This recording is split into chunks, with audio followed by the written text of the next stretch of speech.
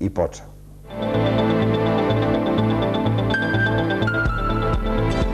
E, kad je proključao srpski nacionalizam, pogledi iz Kragujevca su bili najčitaniji list u kome je pisao cvet srpske inteligencije, od Vuka Draškovića do Biljane Srbljanović. Svoju misiju rehabilitacije četničkog pokreta Samarđić je kasnije nastavio brojnim knjigama u kojima je prvi otkrivao brojne komunističke zločine i razotkrivao lažne mitove uz koje smo odrasti.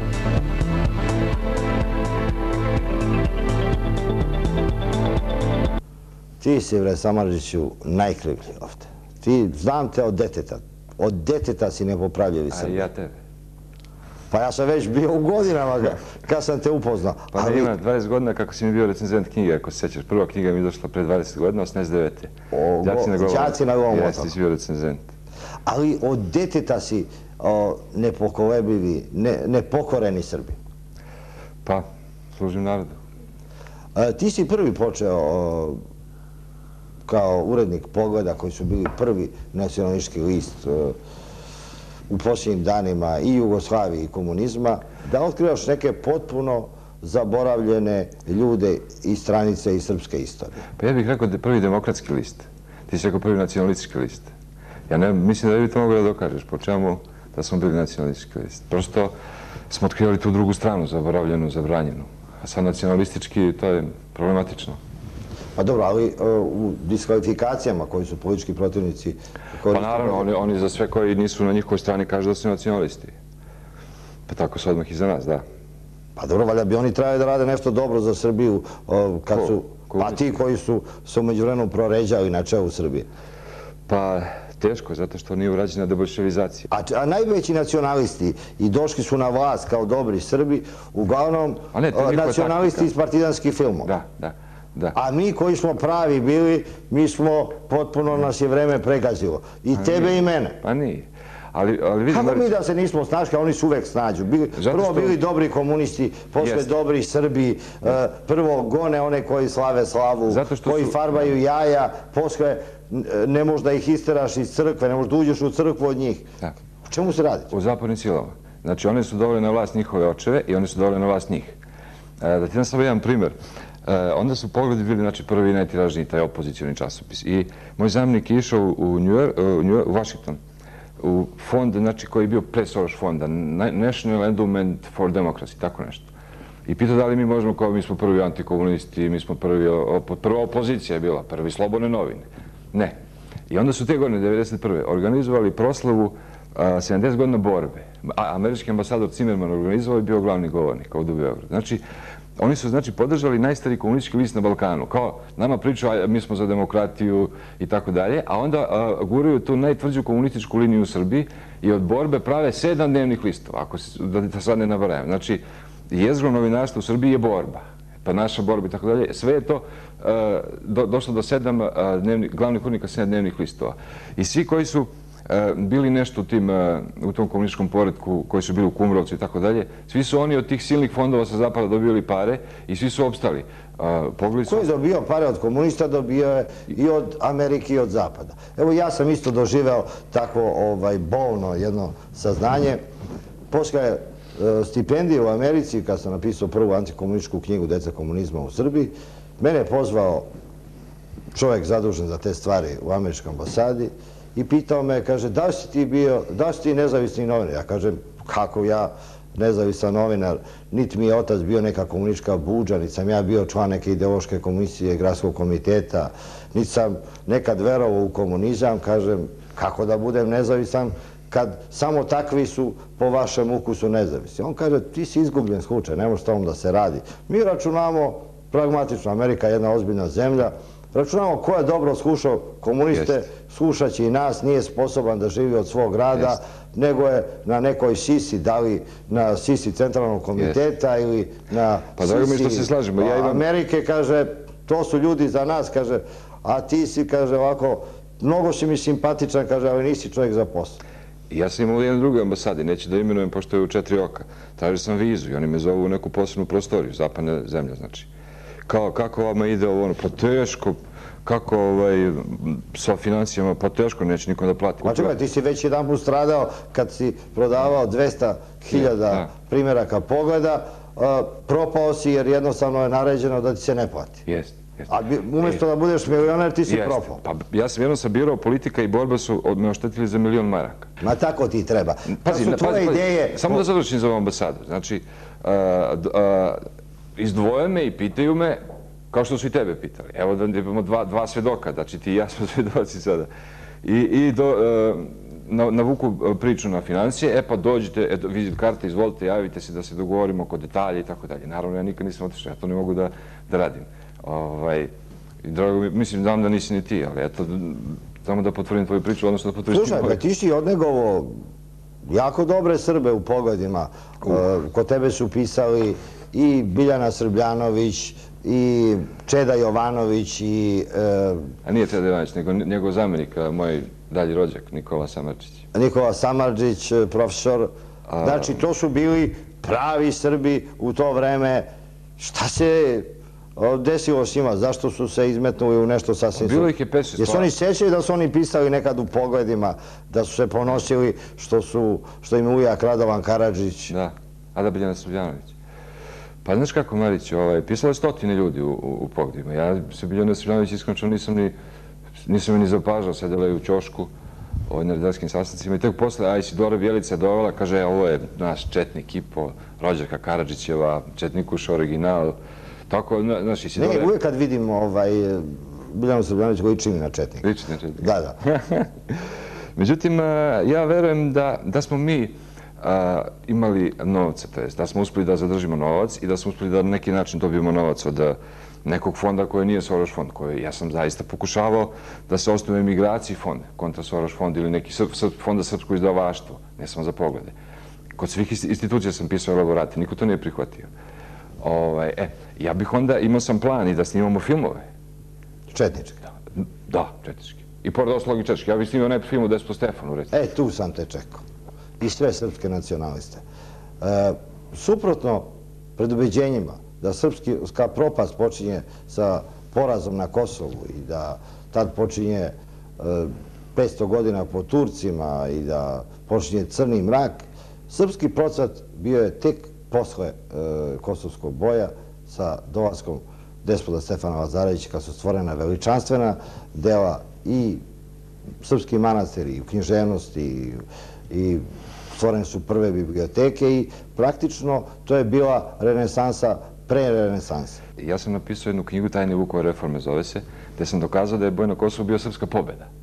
I u stvari zbog te pobjede je došlo... i dokumenti uh, su dva veka govorili o srpskoj pobjedi, Da. nego E, tek posle dva veka... se- Katolička propaganda, znači jezuiti i tako dalje. Znači prvi put se pominje boj na Kosovu kao srpski poraz u knjizi Marva Orbina, dakle... on je- 1601. godine, 1601. on koja je štampana u Pezaru. Jeste, on je bio benediktanski opad, znači opad zadužen za propagandu protiv Rusa, Srba i Bugara. I, i nje- i njegov element propagande je bio taj. Izdaja ovaj, na Kosovu izdaja svugde, prokleta Jerina.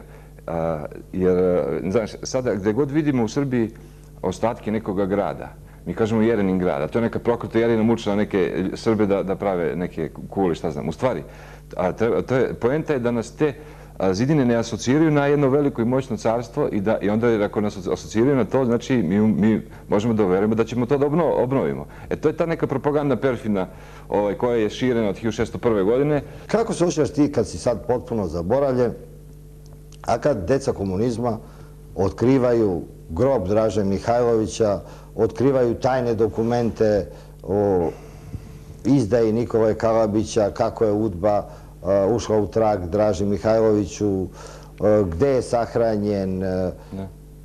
Pa znaš kako, ne, nisam potpuno zaboravljen, zvali su me pre dva danas, juče, prekuće, pa barem a, sam imao 50 poziva u vezi Nikole Kalovića i Dražine dece i tako dalje. Oni su otkrili tajne dokumente Udbe i sve. fotografije koje su objavljene u novinama pre 30 E, a godina. da, sad opet ispred ti ja da smo sašli da se hvalimo. Ovaj, to što oni pišu da je ekskluzivno, ti si objavio prvu dugi, pa onda ja u pogledima. Ti si 80 neke, dakle u intervjuima sa Učnom Krstićem, sa tim Udbašem, i one slike da je Draža sa ovaj, označima i da je lažni sa označima. I sad ja stvarno ne znam šta je tu, šta je tu ekskluzivno. I, I sad donosim ti fotografije gde se vidi, znači, nadam se da će sad da se prikažu, znači, lažni Kalabić, tu fotografiju koju su oni sada prikazali da je to kao Kalabić. 46. godine snimljen. I onda sam ti donao fotografiju od, od 35. Nikola Kalabić. Vidi se da je on bio 35. stariji, ima 29 godina tada, nego je taj njihov Kalabić 46. A možda se on kroz rat pod, podmladio Nije u planinama a, zemlje Srbije. Donao sam sliku iz 1940. godine, i to dve, pre rata. I, uh, I onda sam donao slike iz 43. i 44. Naravno, čovjek je sve stariji, nije bio debeo. Ovaj njihov je... Ali kad je počeo da radi za udbu, on je se podmladio. Pa oni nje- njega nikada nisu uhvatili. Znači, Nikola je poginuo 15. januara 46. u borbi sa Oznom. Oni nikad njega nisu imali u rukama. I ovaj, ja sam napisao knjigu Istina o Kalaviću, da to ima detaljno obrazloženo. I ta knjiga imala pet izdanja. Hvala Bogu, sada će ponovo da se vrati na kioske, baš zbog ove priče. Očigledno da Samarić ti si izgubljen skuči, ti se uopšte ne E, razumeš u politiku. Ti ne znaš ni ko je na vlasti u Srbiji. E, Ovde ilustracija počinje kad ste vi nacionalisti digli glavu, a ne kad su komunisti se useljavali i oslobađali vile Da. na dedinju od njihovih Da, vlasnika. Te vile su umeđu vremenu njihova deca su raspičkala, potrošila i oni moraju da otimaju nove vile, nove kuće, nove fabrike i ti uopšte to ne razumeš. Znači, Ne, ali ja to znači, e, počinje ilustracija, sve ono je amnestirano ranije. Počinje ilustracija kad smo se zločini, oni pola veka Da. i to, to su ovaj, Perikovo doba srpske demokratije, da je Tito bio najveći srpski vladar, najveći srpski dobrotvor, ti ništa ne razumeš ovaj, o istoriji i ovaj, a sve zlo počinje kad su Srbi otkrili ponovo da su Srbi. I zato idemo na novog gosta, ovo su jako duboke teme.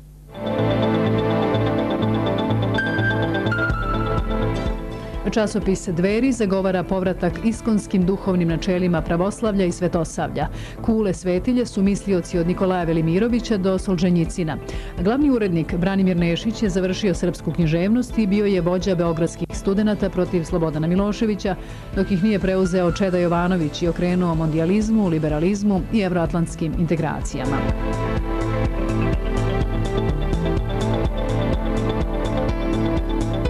Šta se desilo, Brajmire, sa Srbima? Gde su oni pogubili? Evo, ti imaš e, časopis intelektualni dveri koji otkriva srpsku tradiciju, zaboravljene vrednosti e, srpske civilizacije, radiš kao izvršni urednik u pravoslavlju. E, Gde smo mi Srbi? Jel mi možemo da neki kontinuitet uspostavimo ponovo, posle svega? Pa tu smo, tu smo gdje smo bili, e, malo umorni, e, uspavani, izmučeni, malo su nam isprali mozgove, malo se prisjećamo i vraćamo se na neke osnove koje prosto svaki normalan čovjek bi morao da ima ako hoće da bude neki čovjek i da, pripa, i da bude pripadnik nekog naroda koji za sebe ima eto, skoro hiljadu godina.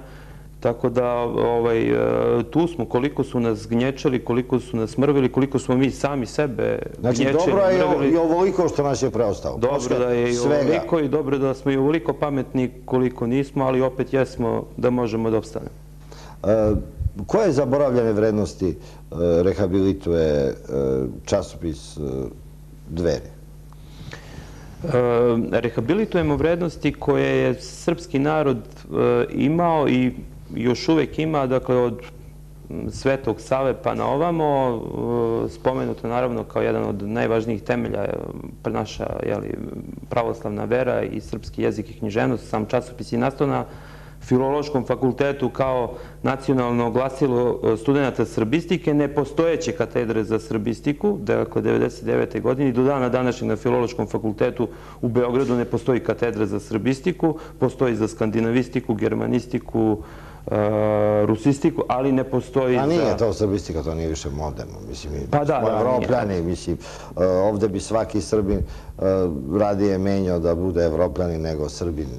To je, to je trend. To, možda, možda mi ovo pričamo, te starinske priče, a to ne verujem da nekog u Srbiji još... Eto, grupa, grupa entuzijasta koji bi voljeli da njihova deca pišu pismom kojim treb, bi trebalo da pišu, svojim maternjim pismom, da govore svojim maternjim jezikom, da znaju svoju istoriju, svoju da, i naravno preko svoje da onda upoznaju... i Evo, ljudi, drugi. ljudi bojažljivo gledaju ovu emisiju jer se zove Ćirilica. Da sam napisao neki naslov na engleskom koji niko ne razume o čemu se radi, ljudima bi sve bilo jasno. o čemu, mislim, gledaju bi tu emisiju mnogo ovako slobodnije, ali ovako ne može to, to više ne. Svakako da neće moći. Ono što bi bilo možda interesantno da naši ljudi znaju da recimo McDonald's i Raiffeisen banka u Moskvi piše Čirilicom i nikome to ne, nešto naročito ne smeta, a evo kod nas ako uopšte pomisliš da možeš da se potpišeš Čirilicom, odmah već postoje srpski nacionalista, tako da ste vi, ja pretpostavljam, glavni medijski srpski nacionalista u Srbiji danas. Nažalost, a ako sam ja dobar Srbi, onda sa ovom Srbijom nešto nije u redu. Ali, zvao sam ti kao svedok. Ti si bio jedan od lidera studentskog pokreta u Beogradu, studentskog pokreta koji je krenuo kao nacionalistički, koji je otet. Koliko vas je bio na početku, kad ste krenuli na Miloševića? 20. novembra, dakle, 96. godine, govorimo o tom studentskom pokretu, pošto malo ne svake godine je bio po neki pokret, ali govorimo o onom velikom 96. 97. Nas, šestorica, sedmorica sa filološkog fakulteta je pronašla u holu filozofskog fakulteta isto toliko studenta filozofskog fakulteta, pretežno sa grupe za istoriju, gde su, bože moji, tamo neki veliki srpski nacionalisti. I krenuli smo dakle, skupili svaku izvodiju po nekih 100-200 dinara iz svog džepa, odštampali smo na fotokopir mašini prvih 2000 letaka, podelili po, po univerzitetu sutradan, dakle, u, u, u ranim jutarnjim časovima i u 12 sati je bio taj prvi, a meni se čini jedini čisti ovako dan studentskog protesta, zato što je već u popodnevnim satima... Kad se pojavio Čeda Jovanović? A Čeda Jovanović se pojavio tek kasnije, on se pojavio četvrtog ili petog dana, jer vaši gledalci to i znaju, postoji Beogradski univerzitet i od njega odvojeni univerzitet umetnosti. Čad Jovanović se pojavio četvrtog ili petog dana kao predvodnik univerziteta umetnosti. Došao kod nas u inicijativni odbor, rekao da je on poveo ove studente umetnike i da traži mesto u inicijativnom odboru, što je negde bilo jeli, normalno da i imamo zastupljenog jednog njihovog člana i tako je on se tu. Je bio on tada dobar Srbin?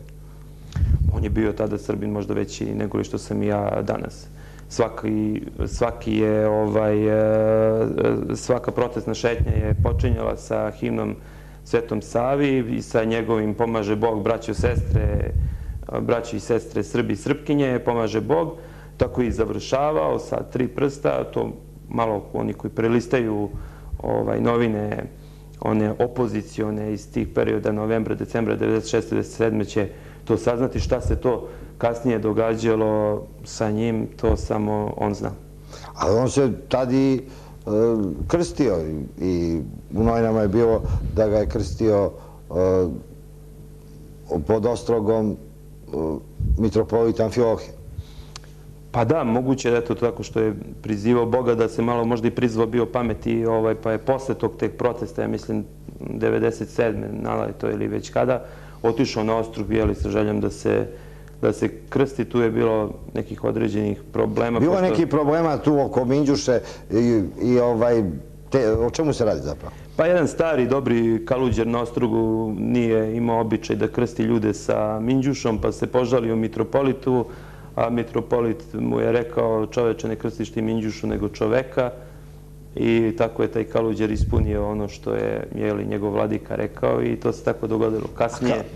Kako je onda kasnije Čeda Jovanović e, e, tog e, istog mitropolita Amfiohija nazvao pukovnikom Udbe, zastupnikom Satane i ne znam sve šta je rekao za njega. Pa očigledno da ima problem sa e, vojnim činovima. U vojsi mitropolit bi bar po nekoj toj e, hijerarhiji morao da bude general major. Tako da pukovnici su mnogo ispod ovaj, takve uloge. Šta je i zbog čega je to... A poznavajući ga dobro i maršal bi mu bilo malo. Nastavljamo posle reklama.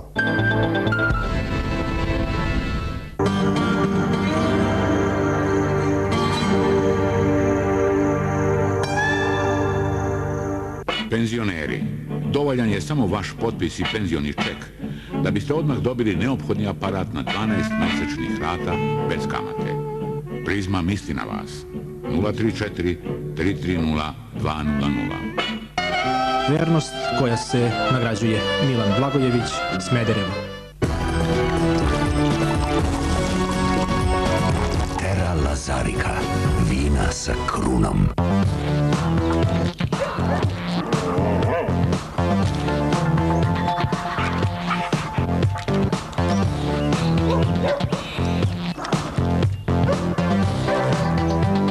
Uplatite MTS mobilni internet uz jedan od dva nova laptop računara iz specijalne ponude po cijeni od samo 9999 dinara. U svim Comtrade Handy, Pakom, Tehnomobil i Telefonika prodajnim mestima. Izaberite Surf tarifni profil i prve tri pretplate plaćate samo po jedan dinar. MTS. Imate prijatelje.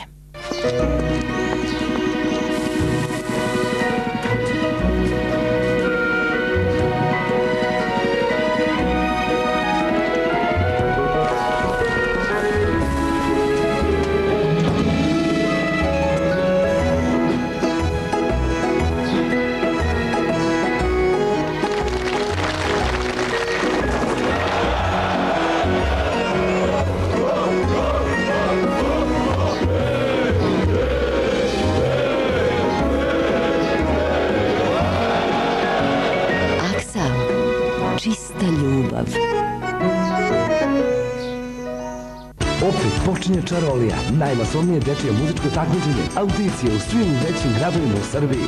26.9. Kulturni centar Smederevo u 12 časova, 26.9. Kulturni centar Požarevac u 16 časova, 27.9. Dom kulture Čačak u 12 časova, 27.9. Kulturni centar Gornji Milanovac u 16 časova, kao i 3.10. Svilajnac Kulturni centar u 12, Kragujevac pozorište za decu u 16, 4.10. Kraljevo Dom društvenih organizacija u 12, Kruševac Kulturni centar u 16, 10.10. Požega u 12, Užice u 16, 11.10. Prepolje u 12, Nova Varoš u 16, 17.10. Leskovac u 12, Niš u 16, 18.10. Valjevo u 12, Šabac u 16. Prijavite se na telefon 011 2627 233 ili na sajtu www.carolija.rs.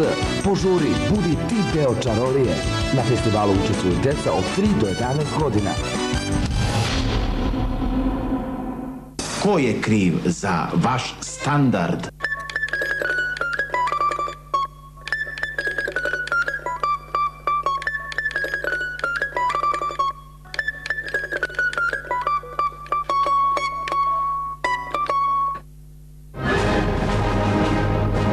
Nova koncertna sezona Beogradske filharmonije. U inat svima i uprkos svemu.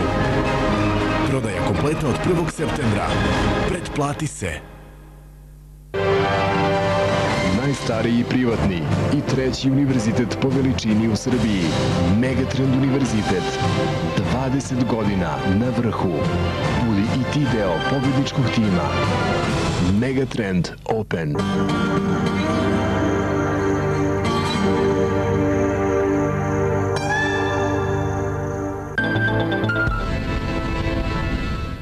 Mladene, ti si mlad dečko kad si čuo šta mi ovo sve pričamo, šta smo mi tokom ove dve, tri decenije preživeli ovde u Srbiji.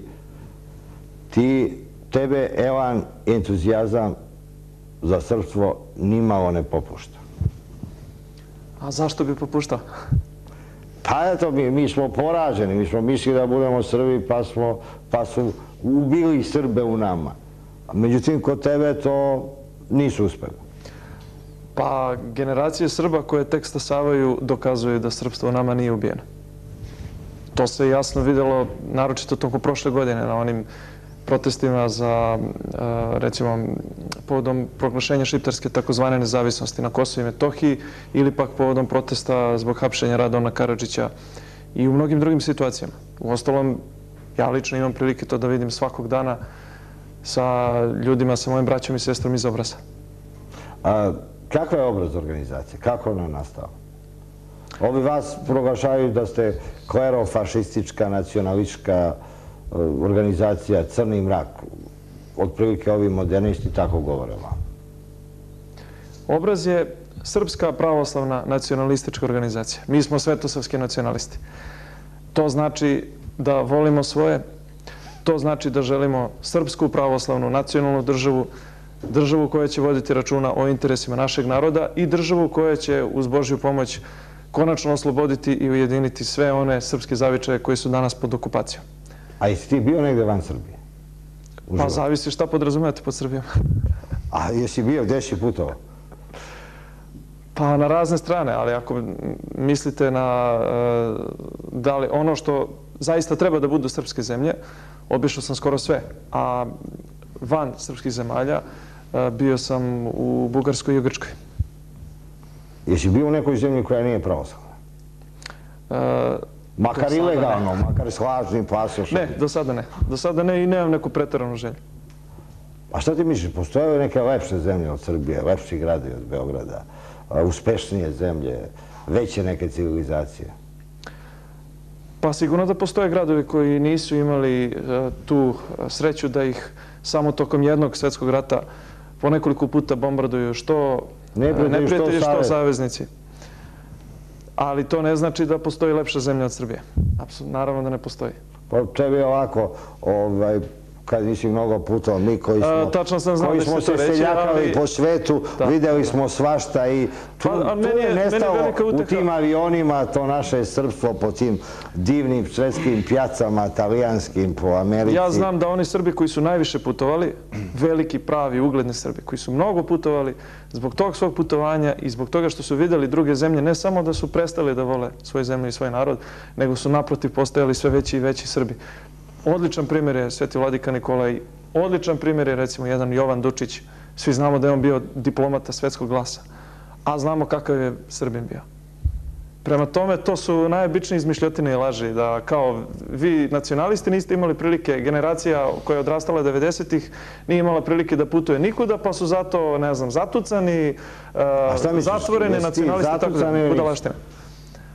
Ja sam Srbin pravoslavac, a kome to smeta, to je njegov problem. A čekaj, izvini malo, znaš, ja sam čovjek e, i ciničan, znaš, i ceo život su mi dosadili ovi skojevci, znaš, tako kad ti kažeš ono svetosavlje, srpstvo, levo, desno, to, to meni liči kao ono komunistička partija, ovaj, e, drug Tito, praktično to je ista leksika, samo što su promenjene ovaj, imena. Možda sam se ja zabunio. Možemo reći da su oni zloupotrebili sve ono što je lepo, čestito, zdravo, pametno u srpskom narodu i da su umjesto toga dobrog postavili svoja loša merila. Tako da naša deca su umjesto da uče o Svetom Savi učila o malom Joži koji je slomio ono korito, je li tako beše Miloslave? Pa nemoj, nemoj, nemoj. Malog Jožu u tom fotostripu igrao je e, kasnije veliki umetnik e, iz rokera Samoravu, Boris Bizetić. Ja bih htio da objavim jedan album sa lepih sličica za decu. Da? Da bih rekao, mi znamo gdje su toko drugog svjetskog rata bili ponavljači.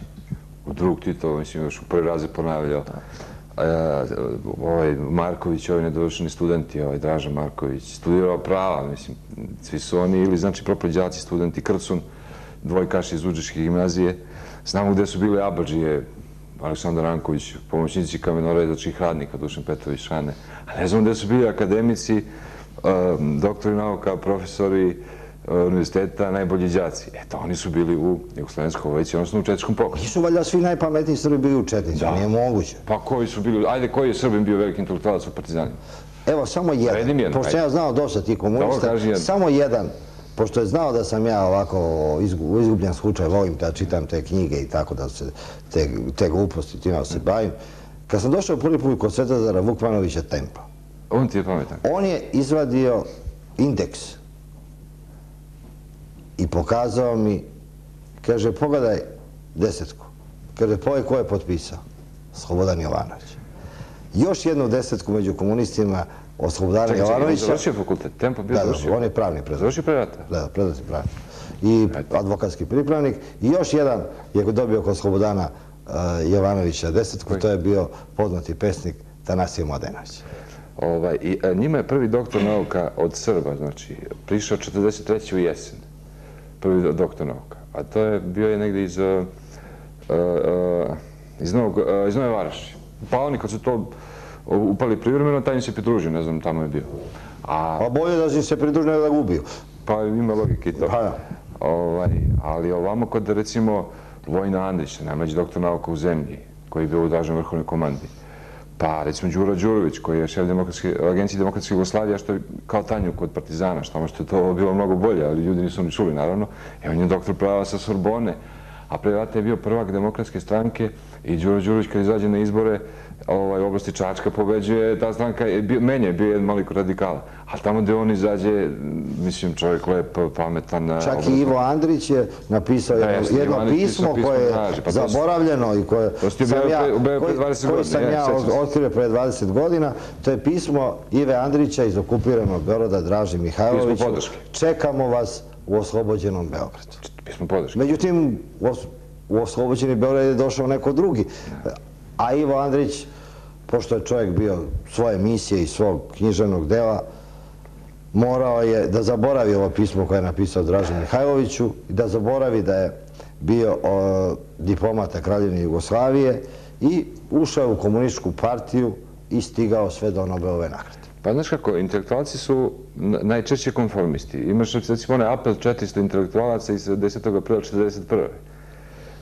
I Aleksandar Belić i naređen sada. I oni su posle... Ništa nije to smetalo. Posle većina je kod Tita potpisivala šta treba.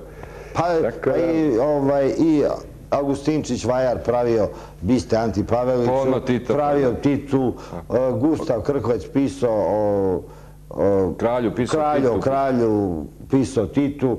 Đorđe Balašević. Računajte na nas. Znači, to je tako. Kako ti gledaš? Jeste, ćete vi omladina da budete malo bolja od... Čvršća će, da budete čvršća. Malo čvršća, jeste vi čelik Srbi. Od naše generacije. Nego mi, to, to oni, svaka vlast koja dođe. Pa mislim da smo to već pokazali, a tek oni koji dolaze posle nas će to na još bolji način pokazati. Šta misliš ti, Branimir? E, mislim da e, mladi ljudi u Srbiji, ja jedva čekam da dobijemo tu bijeli, belu Schengen listu, da bi naši mladi ljudi počeli da putuju širom sveta i da bi vidjeli da kako ljudi zaista žive u Americi, da to baš nije onaj hollywoodska varijanta da padaju dolari sa neba, a mi sedimo negde na plaži sa dve lepe devojke, već da tamo ljudi mnogo radi, da su Amerikanci većinu, u većinskom smislu dosta konzervativni i dobri, čestiti ljudi, pa da odu malo da i u tu Holandiju koja je... Postala je neka priča da nam ne daju, ovaj, ne skidaju nam vize zato što za naše dobro, jer postoji mogućno da se stanovništvo Srbije od ove sreće i uspeha razbeži u okolinu i da ostane neka puštinja.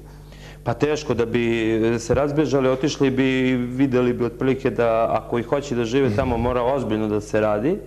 I to je nešto što je dobro i što treba da vidi, što bi smo mi posle ono komunističkog poluvekovnog ovde kod nas radio, ne radio, svirati radio, pa da znamo ovaj, da treba zvrnuti rukave. Ko nas postoji još uvek ta omiljena ovaj, komunistička deviza, niko ne može tako malo da me plati koliko malo mogu da radim. Tako da... A to što si rekao, desilo se u Bugarskoj i Rumuniji, kad su ušli u Europsku uniju, milioni su na, uh, ovaj, otišli na, na zapad.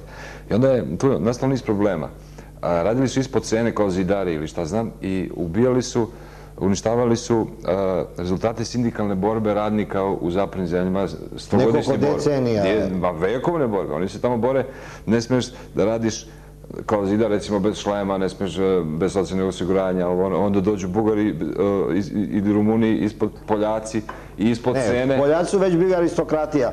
Dok su radili na građana Rumuni i Bugari, Poljaci su bili vodoinstalateri, parketari. Dobro, jeste. Jeste, oni su ipak ono imali Kvalifikovani snaga, ali ista poenta. Oni urušavaju e, posao nekom vodoinstalateru tamo ali pojenta je ista da rade upola cene i da se urušava taj sistem socijalne zaštite za koji se e, e, političke partije i radnici i građani bore na zapadu 100 godina i više 100 godina. I onda je, ja mislim sada ne može bilo ko iz Rumunije i Bugarske da i da radi i bilo gde. Da ima neko ograničenje, znači deo su, stvari sigurno sam da ima, znači deo Evropske unije, ali ne možeš tek tako da e, da odeš da tražiš posao bilo gde. Tako da, i ako nas prime, nekada mislim da će i nama postati to ograničenje. Ali, naravno, naši ljudi su ipak neobavešteni dosta ovaj, o situaciji. Ja sam imao priliku da odem u Ameriku, ali unutrašnjost Amerike. Pazite, to je stvarno daleko siromašnije nego unutrašnjost Srbije. Tamo su kuće od drveta, tamo kad dune vetar odeše kuće. To kod nas ne može da se desi. Tamo i najveći mafijaši imaju kuće od drveta. Od Al Caponea do Johna Gotija. To niko nije imao od te čvrste građe gde u Srbiji svaki seljak ima kuću od blokova i od Kod mene su dolazili ljudi, znači četnici koji cijeli život žive tamo i ja ih vozim naravno na Ravnu goru, pa onim putem Gonji Milanovac, Čačak, Ovaj, mrčevci i tamo dalje. Oni ne mogu da veruju. Prvo, to je sve zeleno, plodno, obrađena polja, kuće, sve su zidane e, na sprat i lepe. Ma sve je to njima Tito. To u srpskim seljacima sve Tito od američkih kredita izgradio. A što nije američkim seljacima? Pa dobro, to je bilo reklamno. Kad se voziš kroz Jugoslavija je bila neka reklamna zemlja među istoka i zapada. Manhattan je nešto, nešto ekstra, ali tu, tu živi 0,001% Amerikanaca. Izgleda smo da je onaj deo Floride ili onaj deo Los Angeles. Ali ja sam kažem ti, vozi se ceo dan autom, onim gornjim autoputom. I skretao levo desno po Varošicama. To je užas jedan. Ma ne, ipak smo mi dobro prošli što nije došao baš neki pravi okupator koji bi naterao Srbe da rade. U, Ali ne, srpskom narodu je rad, to je nešto Srbi rade kad se plati. Rade kad se plati i kod nas, a i kao da u Nemačku ili negdje na zapad. Ali ovaj sistem, mislim, znaš, da radimo za džabaka, kako se to sad zove, ima neki termin sada na, na mobu, kako, mobbing. Mobbing. E, pa to, to naravno neko neće da radi na mobbing, ali daj ti čovjeku platu ima da raditi. Šta si ti mladom životu radio? Osim što se bavio srpstvom.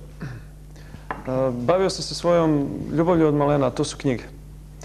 I do sada sam, Bogu hvala, za, uglavnom za grafičku opremu knjiga dobio nekoliko priznanja, od kojih zaista možda jedno od najvećih je e, priznanje koje nije formalnog tipa, ali je reč o e, usmenoj pohvali e, Eh, jednog od eh, najvažnijih ljudi svetskog futbala, to je eh, Michel Platini, koji je, gledajući monografiju o futbolskom klubu Partizan, koji sam likovno i grafički opremio, rekao da takvu monografiju nemaju ni mnogo veći klubovi kao što su, ne znam, Inter ili Real i tako dalje.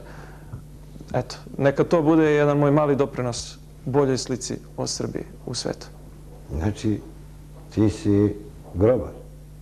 Navijam za partizan, naravno, ali poštojem sve Srbe i sve srpske navijače. I Delije, i Radovce, i Tavrunu Bojsi, i sve ostalo. Kad si onako lepo govorio o srpstvu, ja sam mislio da si naš, da si Delija. Međutim, ti grobar. Ja sam naravno grobar u duši i u srcu, ali sam pre svega Srbin. I ponavljam kao Srbin, volim i poštojem sve prave srpske navijače, zato što svi srpski navijači do sada više puta pokazali da su delije veći Srbi. Ovaj, pa dobro, to je vaše mišljenje. Ja mislim da smo svi mi dobri, pravi Srbi i da treba da se trudimo da budemo još bolji. A vidiš češće uh, na stadionu ili u crkvu? Češće idem u crkvu. Češće nego na stadion? Da. Kada ideš u crkvu? Pa svake nedelje i praznika. A kada ideš na utakmicu? Nažalost, redko, ranije sam išao češće. Ovo samo međunarodno to je. Sad u posljednje vreme sve ređe i ređe, tako, jednostavno pritisle su obaveze, ali ponekad kad mi se pruži prilika da odem na utakmicu, naravno to mi predstavlja zadovoljstvo. A posljednji put sam bio na utakmici E, kada je reprezentacija Srbije pobedila Austrijanci u futbolu. A jesi tu ko nekad na stadionu? Nisam bio baš u takvim situacijama. To samo kad ove sumnjive Srbe, kad se oni pojave na ulici, znači više si za njih nego ovako za ove navijače. Pa kod nas svako zna svoje mesto, svako ima svoj ulog. A šta misliš da su ovi sumnjivi Srbi ovladali ovdje u Srbiji? Ja mislim da jesu. Šta su sumnjivi Srbi? Da su ovladali ovdje u Srbiji. Pa, trenutno sam na vlasti. Od 45. E, režim je trenutno njihov. I stvari ne trenutno, što reče Miloslav još od 45. godine. Međutim, to ne znači da A ima li nade, to stanje može ima li nade za nas? Pa naravno da ima nade. Šta da ima? Da se borimo. I da svi Srbi krenu stopom obraza, dveri i ostalih patriotskih organizacija. Ma ovdje svaka šuša se predstavlja da će da uradi nešto dobro za Srbiju kad dođe na vlast marne neku ovu i u nesreći ne Pa zato što su to ili bivši komunisti ili deca komunista ili eventualno njihovi unuci. Dakle, to su ljudi koji ni na koji način nisu odstupili od onoga što su činili njihovi ideološki ili pak biološki očevi. To su ljudi koji vode neku novu, po znacima navoda, novu politiku, koji vode Srbiju navodno u Evropu iz svojih vila na Dedinju i na Senjaku, koje su ušli 44. 45. godine tako što su lepo pobili ili u najboljem slučaju isterali prethodne vlasnike. Ma i sad će oni naći nove vile, sad kad otmo od ovih nacionalista i ovih e, ovaj, klerofašista i ostalih e, domaćih izdajnika. Pa znaš kako Marić, možda bi zakon mogao da nas spasi. Kako? Naprimjer, zakon o strankama. Da? Znači, koji postoji u Europi da važi i za nas. Jer ne može stranka koja prima makar jedan cent iz inostranstva više da se bavi politikom, to se odmah zavrani. Mhm. Ne može stranka koja prima par od mafije da se dalje bavi politikom. To se odmah zabrani. A pod mafijom nije samo... Pa od koga dobija onda par? E pa, kako je to regulisano u Evropi, treba i kod nas da se reguliše. E, mislim da je to prvo e, i, i osnovno što bi ovde, što bi ovde trebalo, trebalo da, da, odradi, da se odradi. E, a kao što vidiš u, u Skupštini se ta, taj zakon malo malo stavi na razmatranje pa se odmah skloni. Pošto sve stranke imaju očigledno neke mutne izvore prihoda. I očigledno da one ne bi mogle da uopšte da opstanu. Pa, pa da ovdje se takmiče ljudi, kažu učinio sam dobro za Srbiju, pozajmio sam 200 miliona, ovaj pozajmio ovaj, pa da, milijardu, ovaj, nema, kad nema dve milijarde, kaže, vra, nek vraća ko hoće, e, to će vjerojatno tvoja generacija da vraća, jel? E pa mogu vam reći da mi to nećemo vraćati. I pa kako i mi smo... Bože pomoć onda kada Srbija. Evo recimo Đinđić posle ovaj, 5. oktobra otišao kod Buša i rekao kaže šta mi imamo da vraćamo Titove dugove, nas to ne interesuje. Naravno, onog trenutka kada Srbijom budu ponovo zavladali srpski nacionalisti, treba jednostavno proglasiti ništanim sve te sporazume zato što su oni učinjeni od strane izdaničke marinetske vlasti. Znači vlasti koja je bila instrumentalizovana direktno su vršili sve što su radili, rade po nalogu sa zapada. To nije naša vlast. Mi to ne priznajemo. Pa či čega, imate vi neke strane saveznik, kako ćete vi da dođete na vlast od srpski nacionalisti, ako vas ne podržava ni istok, ni zapad, vi sami, ovako šačica, jada, šta radite? Pa nismo sami, s nama je Bog. A druga stvar, druga stvar sve više i više, i sve više i više mladih Srba i Srpkinja pristaje na našu stranu i shvataju šta je to što jedino može doneti dobro srpskom narodu. Je vas ima više nego za neki kombi, ono što su bila mešava, kombi stranke. Je li preostalo više tih dobrih Srba u Srbiji? Naravno da Srba ima, samo ih, samo ih nećete vidjeti na televizijskim ekranima ili pa vidjet ćete ih redku. Da ima više, vidjeti... da recimo na tim paradama bude više ovaj, eh, tih eh, ponosnih nego vas, Srba. Pa šta, je bi ti doživeo to kao svoj poraz i poraz Srbije? Prvo, nikada ne pobeđuje broj, nego pobeđuje svoj. I Karadžođe kada je dizao ustanak, to je učinio sa 50 ljudi, ovaj, onih prvih 50 koji su sabrali Marićevića i Jarozi, pa posle toga je buknula cijela Srbija. Tako će biti i ovoga puta. A jeste sad u manjini u odnosu na ove ponosne Srbe? Pre svega, mi smo ponosni Srbi. A ako mislite ko je ponosni Srbin? Vi ili oni? Ko, ko, ko je ponosni? Ponosan Srbin je samo onaj ko je pravi Srbin. Dakle, ne može neko ko je pripadnik... Pa kažu, oni su, anti... oni su parada ponosa, a vi ste uh, ostaci tih stranih, tih starih uh, prevaziđenih stvari, ovaj, zatucani, kaže... Mogu oni da pričaju što god žele. Srpski narod zna istinu. Ovo je bila reklama za Srbiju, a sad idemo na prave reklame.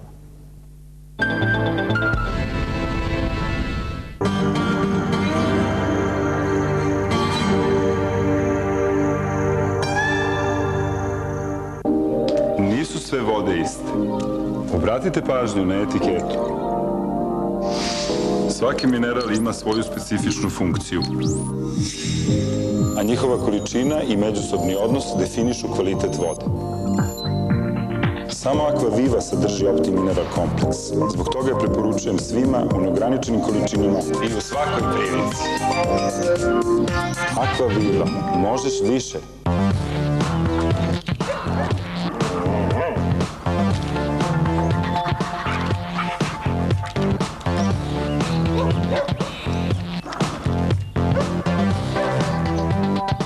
Koristite MTS mobilni internet uz jedan od dva nova laptop računara iz specijalne ponude po cijeni od samo 9999 dinara. U svim Comtrade, Handy, Pakom, Tehnomobil i Telefonika prodajnim mestima. Izaberite Surf tarifni profil i prve tri pretplate plaćate samo po jedan dinar. MTS. Imate prijatelje. Opet počinje Čarolija, najmasovnije dečije muzičko takmičenje, audicije u svim većim gradovima u Srbiji. 26.9. Kulturni centar Smederevo u 12 časova, 26.9. Kulturni centar Poževac u 16 časova, 27.9. Dom kulture Čačak u 12 časova, 27.9. Kulturni centar Gornji Milanovac u 16 časova, kao i 3.10. Svilajnac Kulturni centar u 12, Kragujevac pozorište za decu u 16, 4.10. Kraljevo Dom društvenih organizacija u 12, Kruševac Kulturni centar u 16, 10.10. Požega u 12, Užice u 16, 11.10, Prepolje u 12, Nova Varoš u 16, 17.10, Leskovac u 12, Niš u 16, 18.10, Valjevo u 12, Šabac u 16. Prijavite se na telefon 011 2627 233 ili na sajtu www.sarolija.rs. Požuri, budi ti deo Čarolije. Na festivalu učestvuju deca od 3 do 11 godina.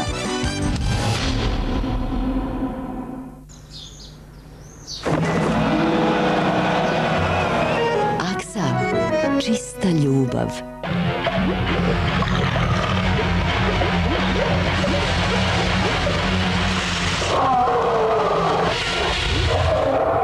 Medveđa krv, snažno, strasno, divlje.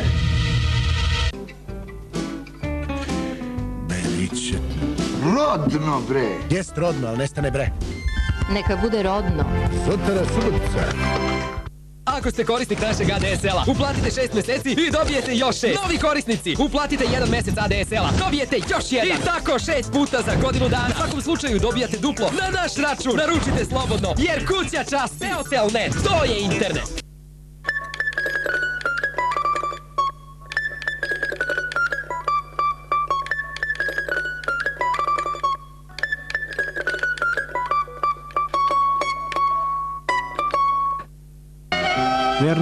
Koja se nagrađuje Milan Blagojević, Smederevo. Power Music vam predstavlja novi album grupe Van Gogh, Labirint. Noćas mi smo tu, zbog. U ekskluzivnom Digipaku očekuje vas CD i DVD iznenađenje. Van Gogh vas poziva u šetnju kroz labirint.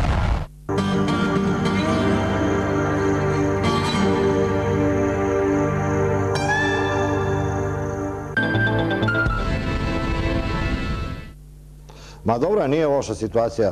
Dozvoljavaju nam još da pijemo našu kiselu vodu, knjaz Miloš. Ako baš nekom fali nešto, možda izmeri pritisak. Tu su naši prijatelji iz Prizme, ovaj, imaju najbolje aparate. Znači, ipak moguće je nešto u Srbiji boriti se. E, da li je dovoljno za srpsku borbu čitati novine? Makar bile one intelektualne kao što su dveri. Ehm, pa naravno da nije samo to dovoljno. Dakle, šta znači biti dobar Srbin? Ovaj, znači e, voleti, e, razmišljati, upoznavati svoj narod i znati ga voliš, a sa druge strane i da na delu pokažeš sve to što misliš. Ma nije, ja se uplašim, jer toliko smo mi ispratili u ovom političkom životu tih koji su se reklamirali kao dobri Srbi, koji će Srbiju preporoditi, koji će napraviti puteve, koji će napraviti čudesa Srbiju odvesti u Evropu, u Nesvrstane, u Arabsku ligu, u...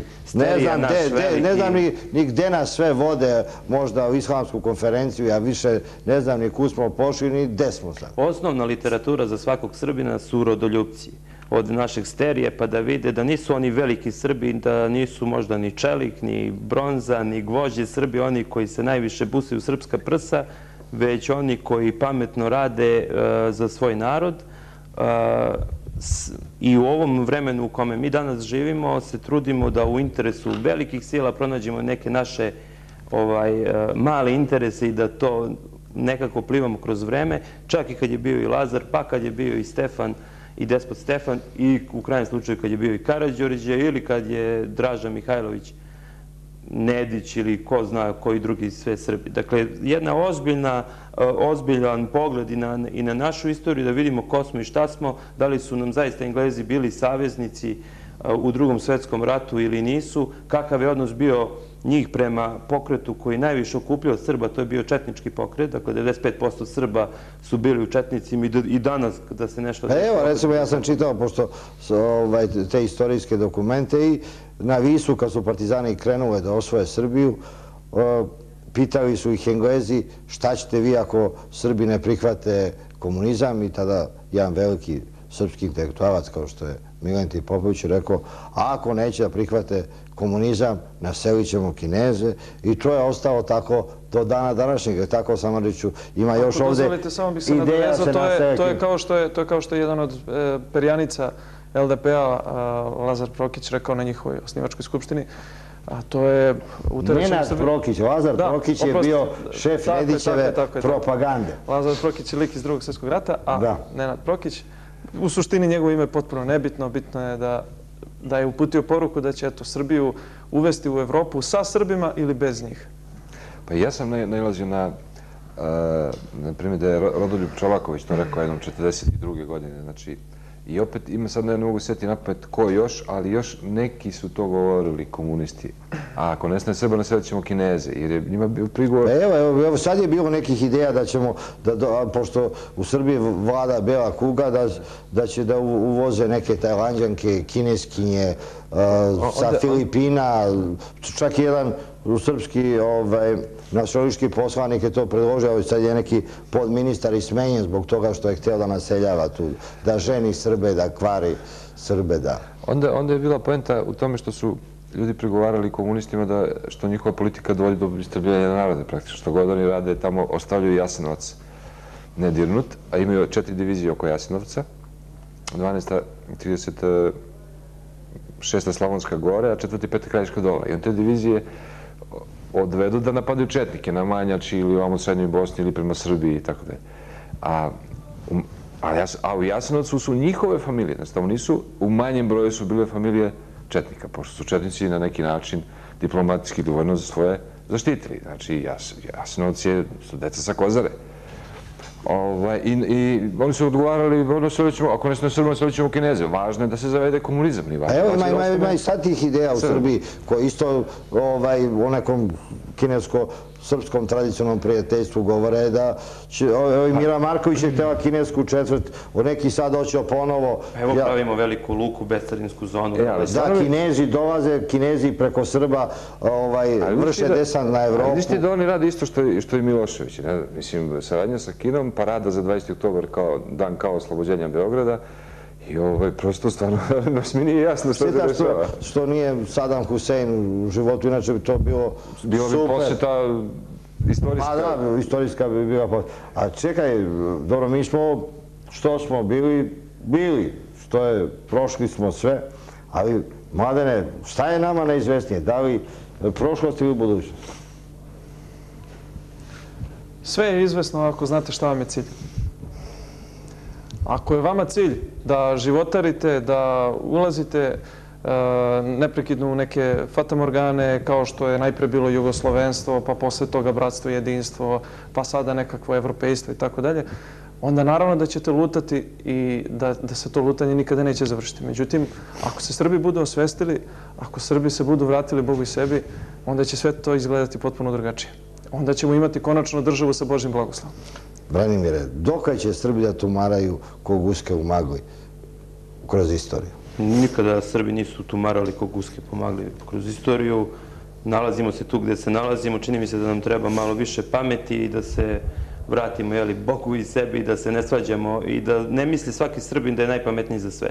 Trebalo bi da čovjek u svojoj profesiji, a pretežno ima jedno, eventualno možda ima i dve profesije ako je malo talentovan, da to radi, da to radi dobro, a da onda posle sednemo i da se da se dogovorimo između sebe kako ćemo i šta ćemo dalje. Nekad je u Srbiji bilo dozvoljeno da se i pamet ljude bave politikom, pa tako u nekoliko mandata namestnik, e, ministar ministra spoljnih poslova, e, predsjednik srpske vlade, e, bio Jovan Ristić, koji se na Berlinskom kongresu izborio za samostalnost i nezavisnost srpske države i kad su ga oni doživeo tamo izdaju Rusa i da je doživeo to poniženje da je morao da moli eh, grofa Andrašija, austrijskog eh, ministra spoljnih poslova, da on pomogne ovaj, da se stvori nezavisna srpska država, dok su Rusima bili tad mnogo ovaj, eh, draži Bugari. I on kad se vratio, održao je govor u Srpskoj skupštini rekao ja sam za Srbiju